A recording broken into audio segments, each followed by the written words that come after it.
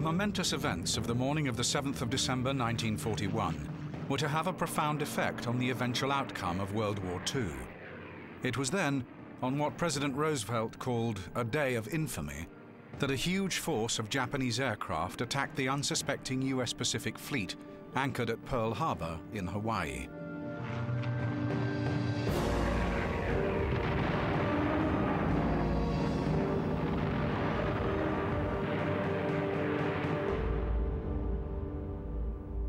During the devastating raid, 19 US ships were sunk and more than 2,000 US lives were lost. The die was cast. The United States was soon firmly in the war, and Japan had taken the first steps on the road that would ultimately lead to the horrors of Hiroshima and Nagasaki. In infamy, the United States of America was suddenly and deliberately attacked by naval and air forces of the Empire of Japan.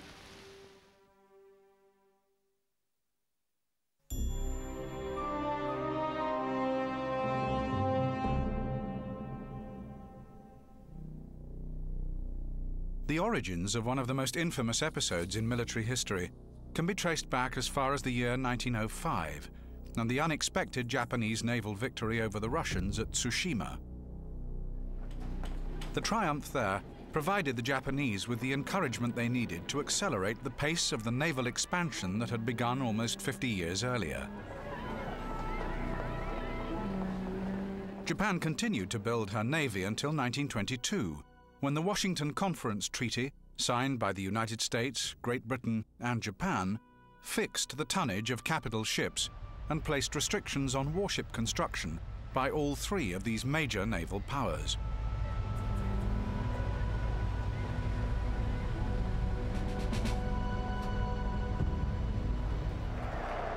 By the end of the 1930s, however, Japan was in the grip of fervent nationalism, and the world watched as political turmoil at home turned into outright aggression abroad. In 1931, Japan seized Manchuria, an act carried out in defiance of the Japanese government by the all-powerful military, and which directly threatened the open door policy of the United States towards China and its huge commercial markets.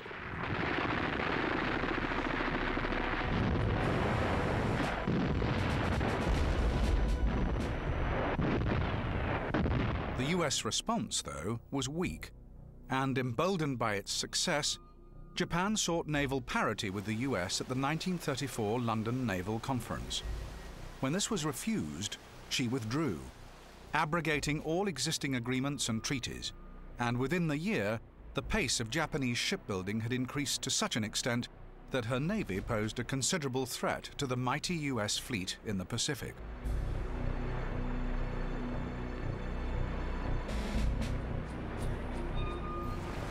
While Japan eyed the riches of Eastern Asia, the USA continued to look inwards. The Neutrality Acts of 1935, 36, and 37 were passed by Congress in an attempt to keep the US out of any European war, reflecting the isolationist mood in the US at the time. The country received a jolt, however, when, in 1937, the Japanese further extended their Chinese interests by seizing Inner Mongolia and northern China. Perhaps the American people, who were largely sympathetic to the Chinese, expected something more than Roosevelt's famous conciliatory quarantine speech in October that year.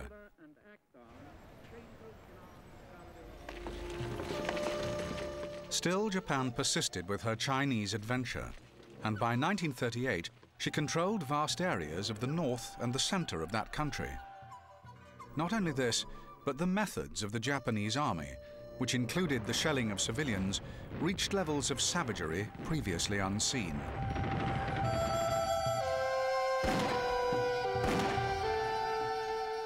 As a consequence, the public mood in the US turned from sympathy to outrage.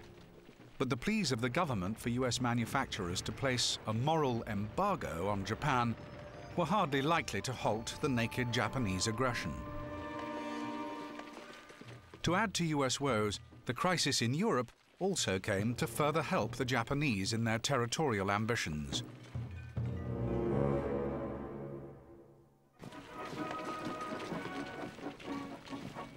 In March 1939, Adolf Hitler's armies marched into Prague. As they did so, Japan invaded the island of Hainan.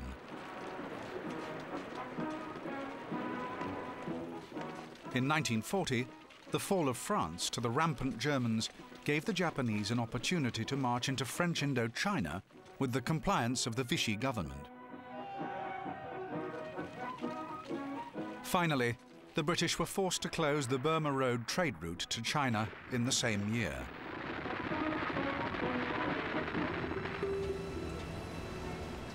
Events in both Japan and the USA were now moving as swiftly as those abroad.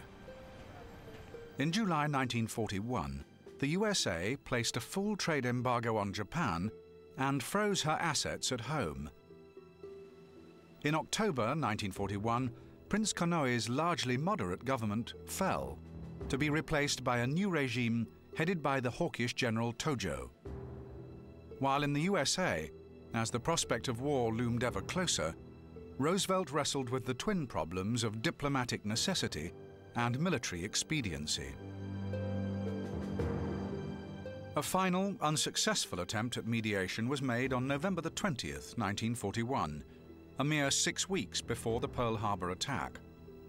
War was now inevitable.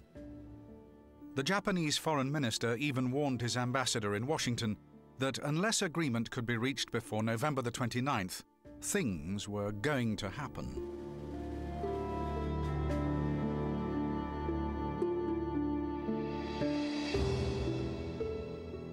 In the USA, the reluctant American cabinet was still preoccupied with diplomatic procedure as it searched for a way to force Japan into opening hostilities without inflicting casualties or damage on US armed forces. Meanwhile, the American military was receiving decoded messages from the South Pacific that tragically it appeared to deem unimportant.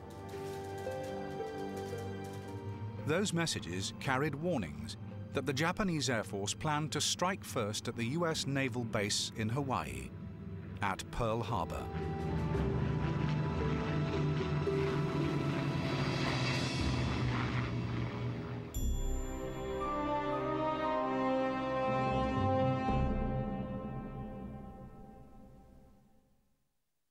Yamamoto was Japan's greatest naval strategist and the man who planned the raid on Pearl Harbor. Not only was he a vastly experienced naval officer who had fought against the Russians at the Battle of Tsushima in 1905, but he had also spent time in the USA, firstly as a language student at Harvard University, and later as assistant naval attaché in Washington. His time in the US had imbued him with a healthy respect for the country that was now Japan's enemy, for he had seen at first hand America's enormous industrial manufacturing capabilities. Perhaps it was this that prompted the pragmatic Yamamoto to warn his countrymen during the early months of the war we can run wild for six months or a year, but after that, I have utterly no confidence. In 1940, Yamamoto was given command of the flagship Nagato, and overall command of the Japanese combined fleet. Nagumo was in command of the first air fleet, known as Kido Butai, and directed operations from the carrier Akagi. Nagumo had only a limited experience of carrier-borne warfare and was also a very cautious man. This combination persuaded him not to send in a third wave of attack aircraft at Pearl Harbor. Many military historians have concluded that Nagumo's caution may have saved the US Pacific Fleet from total destruction. Genda held the post of First Staff Officer, 1st Air Fleet, for the Pearl Harbor attack. Like Yamamoto, he too had lived and worked abroad, this time in London, where he had closely studied the Royal Navy's tactics and weaponry. Genda was deeply involved in planning the Pearl Harbor attack even designing new types of torpedoes that were used during the raid. The confident Genda argued that the air attack should be supported by an amphibious landing, a proposal that was rejected by Japanese High Command.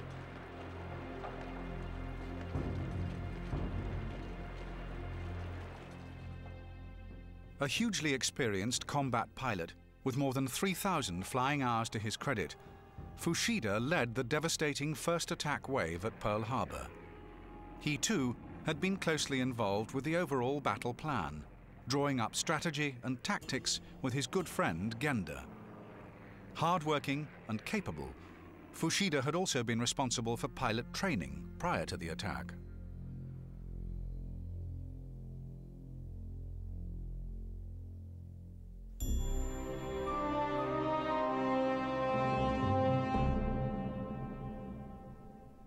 The commander-in-chief of the U.S. Pacific Fleet at the time of the Pearl Harbor attack was the highly experienced Rear Admiral Husband E. Kimmel, who had been given command of the base in the early part of 1941. Kimmel had certainly been unhappy with the state of the defences at Pearl Harbor and had instigated a rigorous improvement and training program, although he was constrained by poor supply and equipment. What was more, the U.S. Atlantic Fleet had been the focus of attention by US High Command during 1940 and 1941. Throughout November, Kimmel had received warnings from Washington, including one on November the 27th, which read, Consider this note a war warning. Unfortunately, the messages indicated that the principal threat to the base came from sabotage, and its defences were organised accordingly. Lieutenant General Walter C. Short commanded the Army forces at Pearl Harbor. A noted disciplinarian, with a reputation for carrying out orders to the letter, Short was also considered by his contemporaries to be unimaginative and lacking in initiative. Along with Kimmel, Short paid the price for the disaster at Pearl Harbor when he was dismissed shortly after the raid, a victim of his own short sightedness and the general confusion which surrounded the U.S. defense preparations.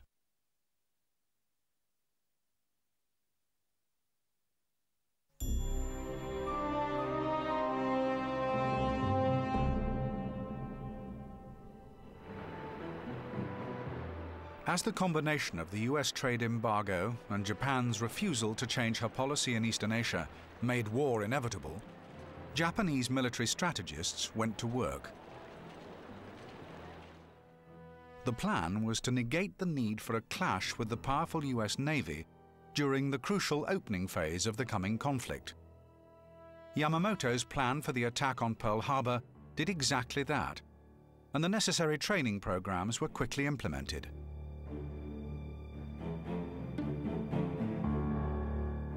Echoing the past, the plan was given the code name Operation Z, the very same signal used by Admiral Togo at Tsushima 36 years earlier.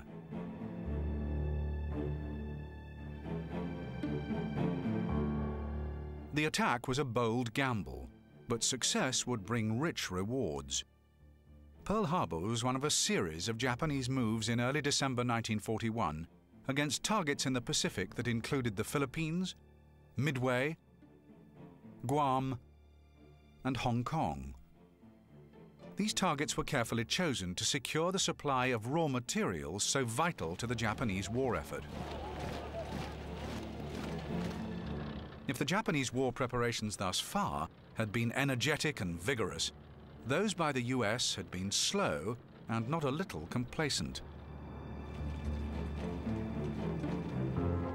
Still believing that a resolution to the crisis could be reached through diplomacy and that no military action would be taken while discussions continued, the US was simply not on the same war footing as Japan. After a decade of isolationism, no one seemed able to believe that Japan would take the enormous step towards war with the United States. Certainly, the sheer distance between the two nations gave the US some sense of security, for it was believed, not unreasonably, that if war did come, it would be impossible for Japan to send a force against a US target without being detected. Perhaps it is with the gift of hindsight that it is obvious that the Japanese were preparing to strike, that the likely target was the US Pacific Fleet, that the defensive arrangements were inadequate, and that the US was issuing an unwitting invitation to the Japanese to strike.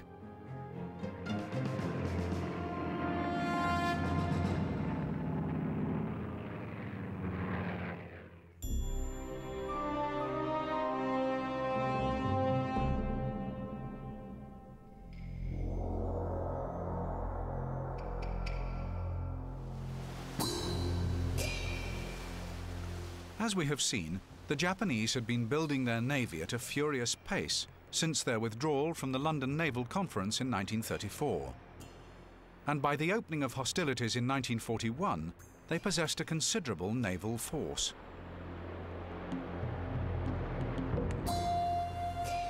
This included eight aircraft carriers, 10 battleships, 18 heavy cruisers, 20 light cruisers, and over 100 destroyers a further 60 ships of various classes were under construction. In addition to this, the Japanese seamen and air crews were highly motivated and trained. They knew exactly what was expected of them as they approached Pearl Harbor. This training, along with a fearlessness that came from a belief that it was an honor to die for the Emperor, made the Japanese a formidable foe.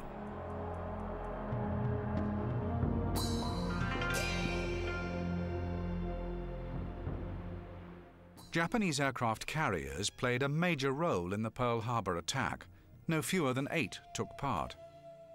They ranged in weight from just under 16,000 tons to over 38,000 tons and carried 10, 8, and 5 inch and 25 millimeter guns.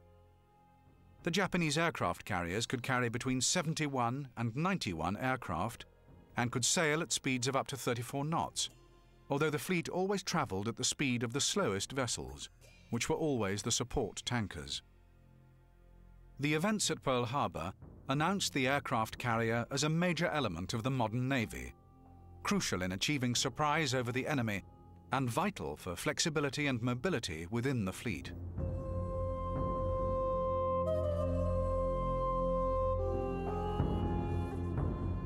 No less important the aircraft aboard the carriers that provided the cutting edge of the attack.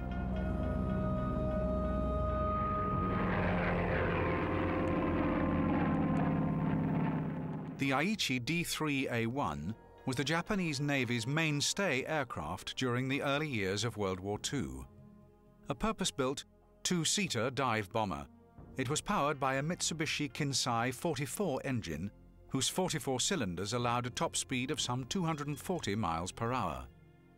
With a range of 1,130 miles and a ceiling height of 34,450 feet, the plane carried a 550-pound bomb under the main fuselage with two smaller 66-pound bombs under each wing. There were two 7.7mm machine guns fixed in the upper part of the fuselage, forward of the cockpit. 470 Aichi D3A1 aircraft were produced during the war. Although the plane was at the forefront of the Pearl Harbor attack, it soon became obsolete.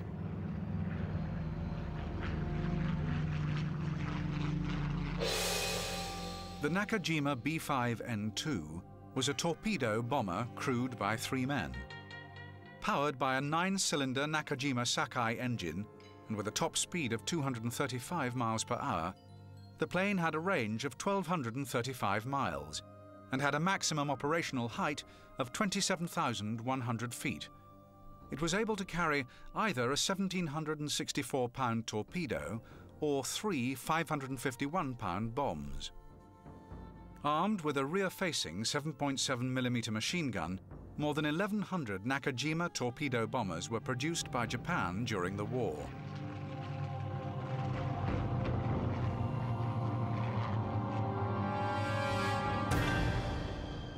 Perhaps the most famous of all Japanese planes of World War II, however, was the Mitsubishi A6M20.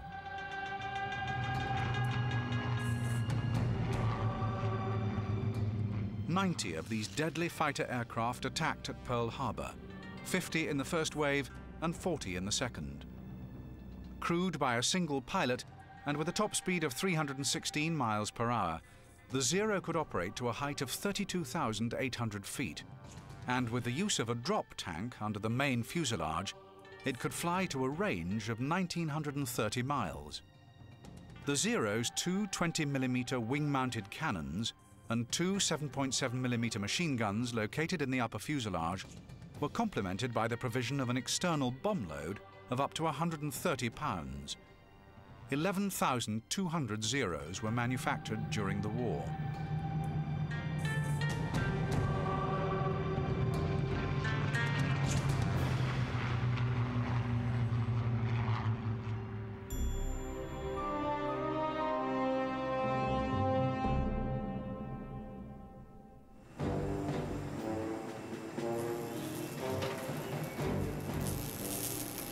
Like that of the Japanese, the US naval fleet had been rebuilt during the late 1930s after it was scaled down in accordance with the 1922 Disarmament Treaty.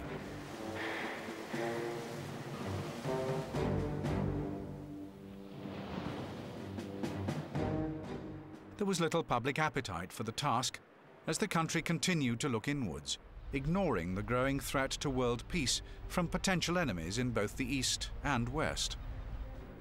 Even allowing for this reticence, the US still possessed the most powerful and formidable navy in the world.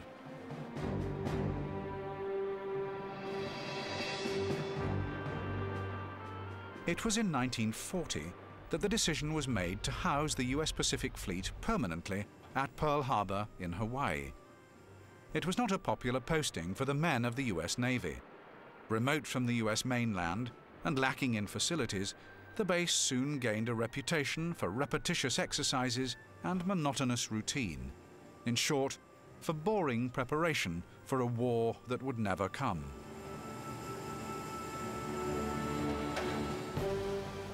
All these factors contributed to an air of complacency that would be shattered on December the 7th. The choice of Pearl Harbor for the base was in itself an acceptance by the US that Japan was now a threat to peace in the Pacific region. The move was simply too little, too late. For while the diplomats and politicians wrangled, Japan had been allowed to build a navy capable of challenging the mighty US fleet.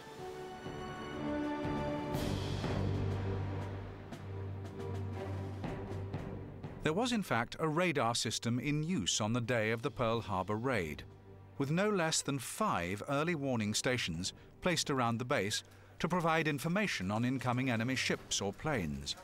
Indeed, the radar station at Opana clearly picked up Fuchida's attack force and relayed accurate information on its size, speed, and direction. If the information had been acted upon, the outcome of the battle may have been very different. But tragically, the authorities chose to discount what the radar was clearly telling them.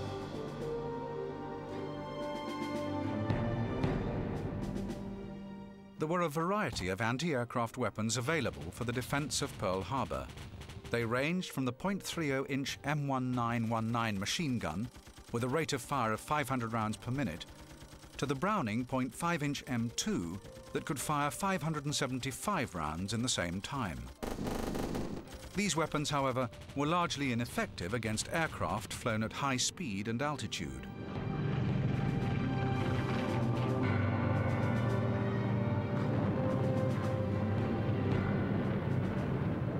3-inch and 5-inch anti-aircraft guns stationed at Pearl Harbor could fire 25 rounds per minute up to heights of 30,000 feet and would have been more effective had the Japanese not achieved the vital element of surprise.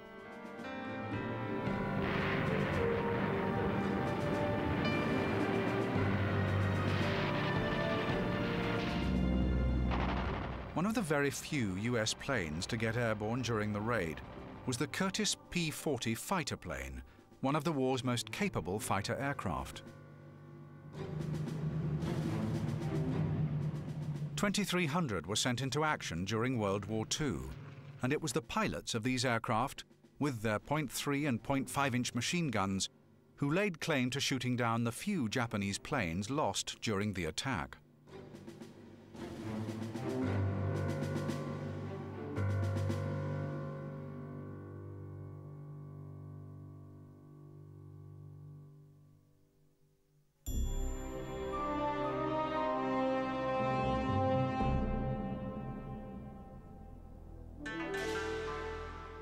The attack on Pearl Harbor was carried out by the Japanese First Air Carrier Fleet. The force was centered around six aircraft carriers, the largest of which was Nagumo's command ship, the Akagi. With a crew of 2,000 and with 91 aircraft on board, the Akagi weighed in at a massive 36,500 tons and was armed with 8-inch and 25mm guns. Of similar size and capabilities was the Kaga, which had been built as a battle cruiser in 1928 and was converted in a series of refits. Carrying 70 planes and 1,100 crew was the Soryu, a carrier that had been built in 1937 and followed in 1939 by the Hiryu, the fourth aircraft carrier in the fleet. These formidable ships were joined by the newest Japanese aircraft carriers, the Shokaku and the Zuikaku. These vessels, boasting a top speed of 34 knots, carrying 84 planes each, and with crews of 1,600 men, were completed just in time for the Pearl Harbor assault.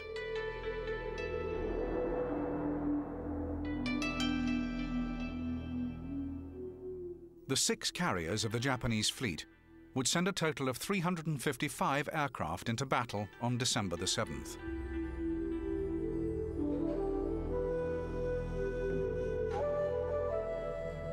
Supporting the great Japanese aircraft carriers were the two battleships Hiei and Kirishima, and three cruisers, the Tone, Chikuma, and Abukuma. There were also nine destroyers, and the fleet was accompanied by eight fuel tankers 27 Class 1 submarines, and five midget submarines.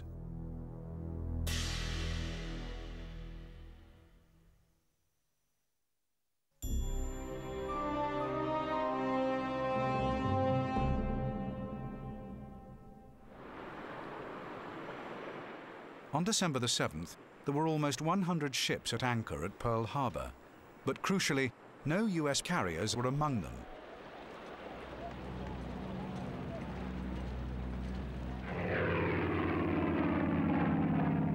The Saratoga was in dry dock on the US west coast, while the Lexington and the Enterprise were away delivering planes to the US bases at Midway and Wake.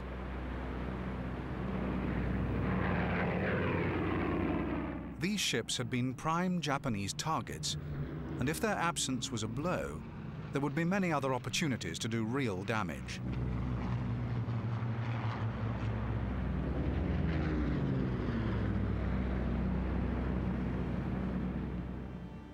The battleships Nevada, Arizona, Tennessee, Maryland, West Virginia, Oklahoma, California, and Pennsylvania stood silently at anchor. With them were 29 destroyers, four submarines, 23 minesweepers, and an array of seaplane tenders, cargo, and repair ships. The cruisers Raleigh, Detroit, Helena, San Francisco, New Orleans, St. Louis, Honolulu, and Phoenix also beckoned for the Japanese, along with Hickam Field, Wheeler, Kaneohe, and Ewa, the four airfields that served the Pearl Harbor base.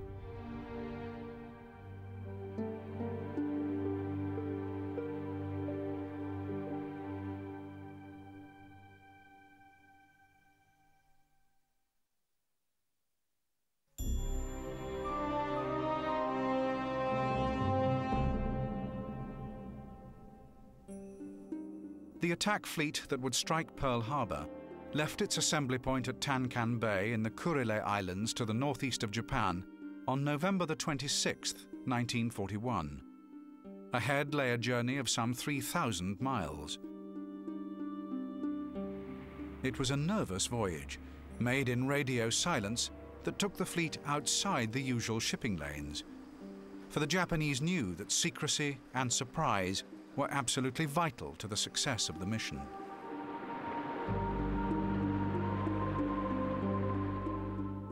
Meanwhile, the farcical charade that passed for diplomacy continued. Even after having received instructions to destroy codes and make plans to leave Washington, and with the certain knowledge that a fleet was on its way to Pearl Harbor, Japanese diplomats kept up the pretense, although by now President Roosevelt appeared to have abandoned hopes of a peaceful solution. On December the 6th, he is reported to have said to his aides, This means war.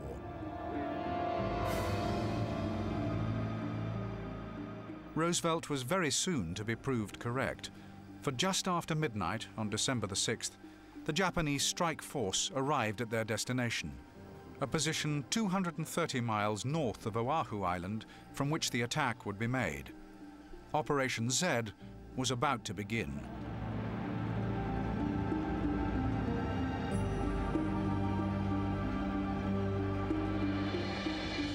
Back in Washington, the U.S. Chief of Staff, General George C. Marshall, returned to his home from a morning bike ride at 11.30 a.m. on December the 7th. There, he found a copy of a decoded Japanese message that had been waiting for him for more than an hour. Its contents prompted Marshall to send an immediate warning to the Pearl Harbor base. The Japanese are presenting at 1 p.m. today Eastern Standard Time what amounts to an ultimatum. Also, they are under orders to destroy their code machine immediately. Just what the significance of the hour may have, we do not know, but be on the alert accordingly. Unfortunately, this handwritten message did not arrive until after the first Japanese aircraft had screamed down from the blue skies above Pearl Harbor to drop their deadly payloads.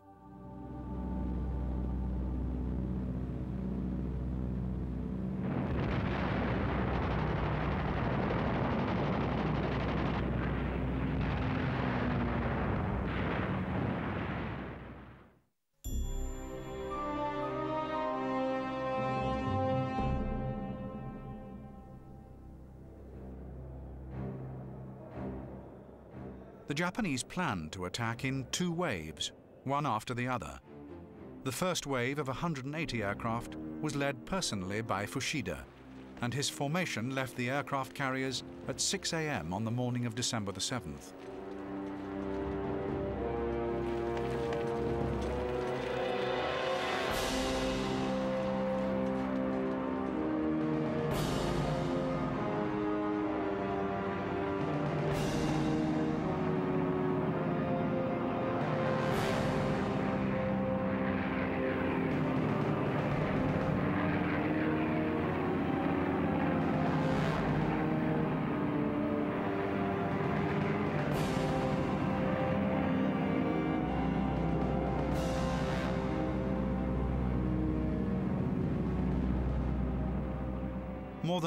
Before the first bombs dropped, US radar detected the onrushing Japanese force.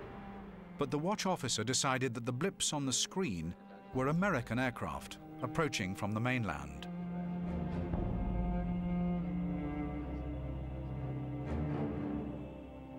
At 7.55 a.m., bombs began to smash into the US fleet, and the famous words were broadcast, Air Raid Pearl Harbor, this is no drill.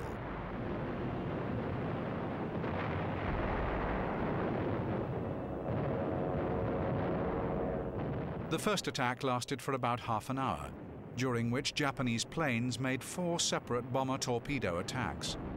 Their target was Battleship Row on the southeast shore of Hawaii, where the US battleships were lined up, invitingly, next to each other.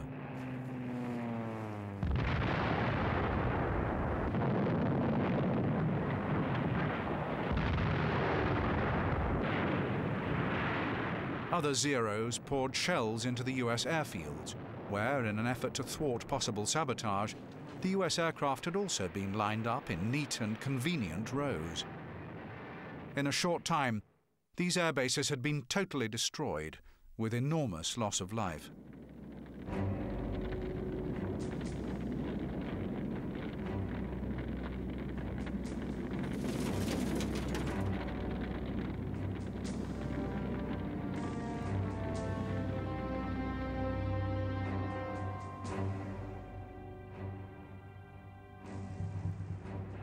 Planes attacking the battleships had been allotted particular targets, and their torpedoes soon found their mark. The battleship Arizona fared worst. The torpedoes and bombs that slammed into her turned the ship into a blazing inferno that rapidly sank beneath the waters of the harbour. With her went more than a thousand members of her crew, who were trapped beneath decks.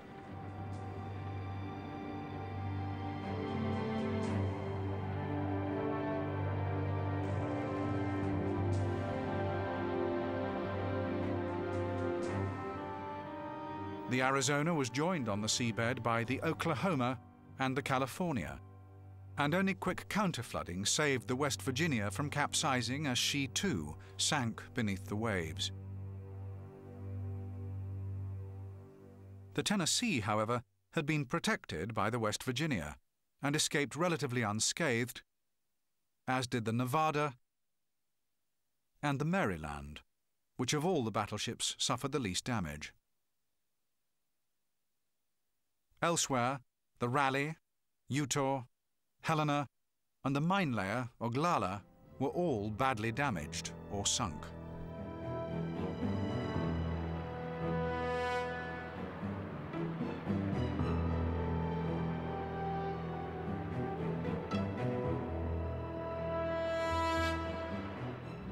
It was 8.25 a.m. before the first wave of Japanese attacks ended. After a brief lull, the second wave of 170 aircraft led by Lieutenant Commander Shimazaki arrived to continue the devastation of the base. But they were not to find life quite so comfortable as the first wave.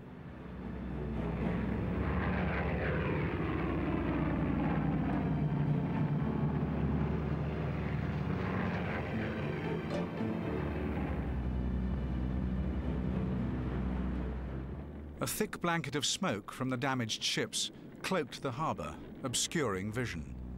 Furthermore, US personnel had manned anti-aircraft guns and, showing great bravery in the face of overwhelming odds, had attempted to fight back.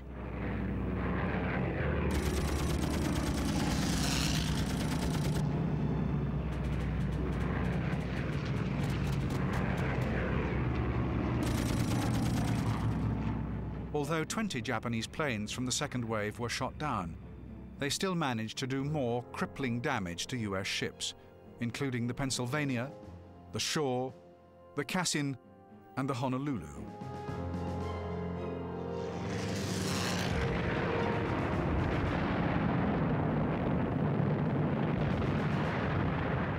The fighting over the harbour raged until 9.45 a.m., when at last the Japanese attackers turned for home.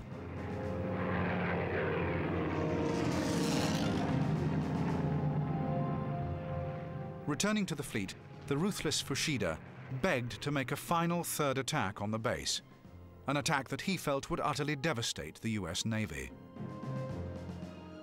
Nagumo refused the request, arguing that the attack had achieved its objectives and that it would be foolish to risk further loss to the Japanese forces. The fleet began its triumphant journey back to Japan, and history will never know if Fuchida's proposed third attack would have changed the course of World War II.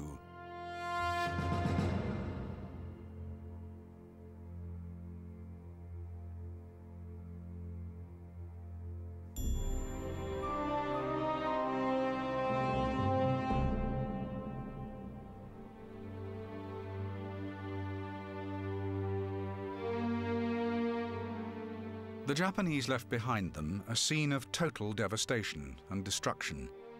In less than two hours over the target, they had sunk or severely damaged eight battleships, three cruisers, three destroyers, and eight various other ships.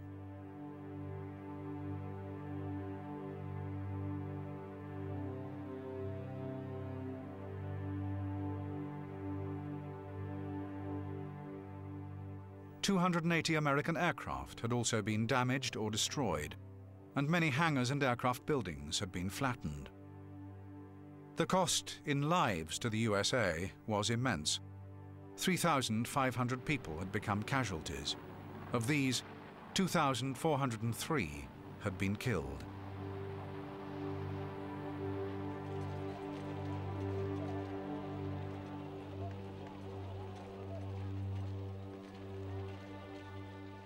A third of the dead had been aboard the Arizona when it exploded into a ball of fire and sank.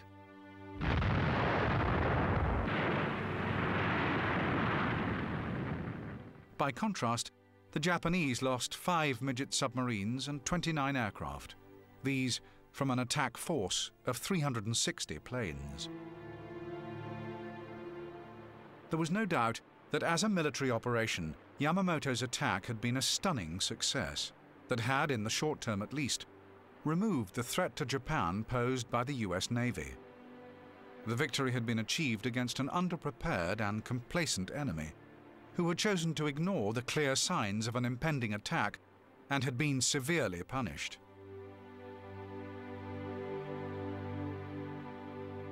As the sun set on the wreckage of the USA's most infamous military failure, the Pacific region lay firmly under Japanese control.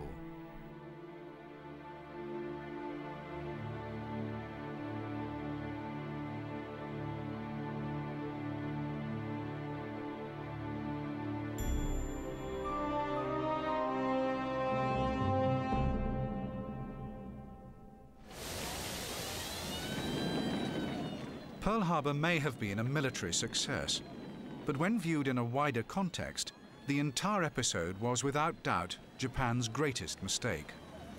The attack had been completely unnecessary.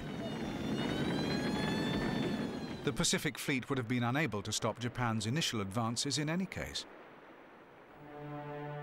What better way to bring America, with all its military and industrial might, into a war that it had previously tried desperately to avoid. All meaningful debate in the US about what would be achieved by going to war for the second time in 20 years was ended. The American mood of isolationism was replaced by a desire for revenge.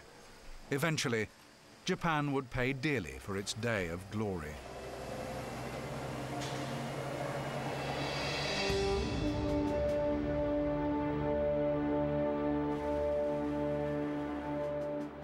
Even strategically, the attack on Pearl Harbor was a mere short-term success.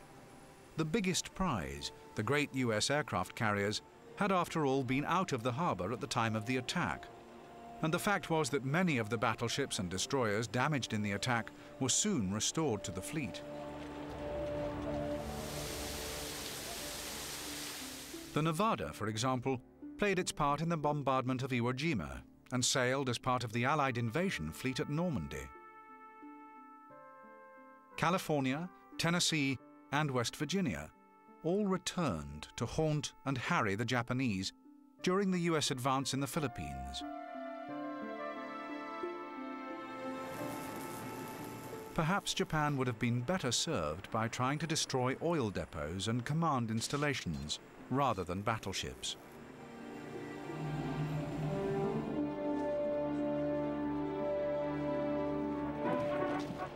After the attack, Hitler was persuaded by Japan to join with them in the struggle against America. This too would prove to be an enormous blunder. Although the US regarded Germany as an enemy, how would she have gained public support for a war in the West while fighting Japan in the East? Hitler made such questions unnecessary with his declaration of war on the USA. And as a consequence, the Allies were able to agree a worldwide strategy to defeat, once and for all, the twin foes of Imperial Japan and Nazi Germany.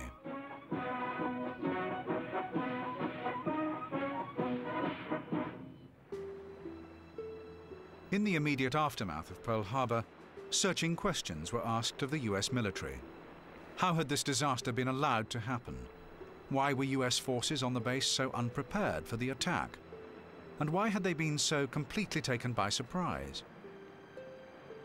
Someone had to carry the can. That man was Husband E. Kimmel, who in 1942 was replaced as Commander-in-Chief of the Pacific Fleet by Admiral Nimitz and charged with dereliction of duty. Kimmel retired in the same year and was eventually cleared of the charge by a congressional inquiry set up in 1946 to investigate the disaster at Pearl Harbor. Lieutenant General Walter Short also lost his job. dismissed by those in high command who were also culpable, but were no doubt anxious to ensure that no blame attached itself to them. The main Japanese players in the story of Pearl Harbor experienced mixed fortunes throughout the remainder of the war. Mitsuo Fuchida survived the war despite illness and serious wounds sustained at Midway. Converted to Christianity, Fuchida travelled widely in America and Canada after the war, and in a final irony, became a US citizen in 1966. He died there in 1976. Chuichi Nagumo was shattered by the loss of four Japanese aircraft carriers at the Battle of Midway and was subsequently transferred to the command of a small naval flotilla in the Marianas. He committed suicide after organizing the Japanese defense of Saipan in July 1944. The greatest loss to Japan was that of Isoroku Yamamoto, who was shot down and killed during an inspection tour of the Solomons in April 1943. Despite the dramatic downturn in Japan's fortunes and his own increasing pessimism as to the eventual outcome of the war, Yamamoto had retained the respect of his superiors and the Japan rank and file.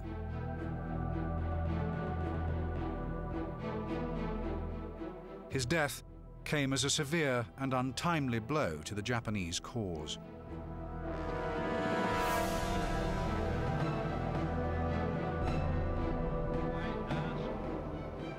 President Roosevelt's day of infamy, the greatest naval defeat suffered by a major power since Trafalgar in 1805, was eventually avenged with interest.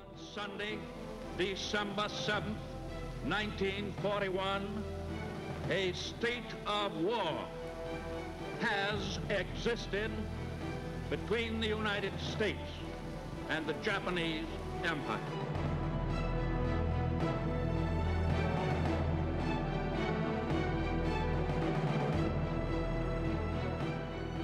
The world has not forgotten that catastrophic day in December 1941, when the war came to America and America came into the war.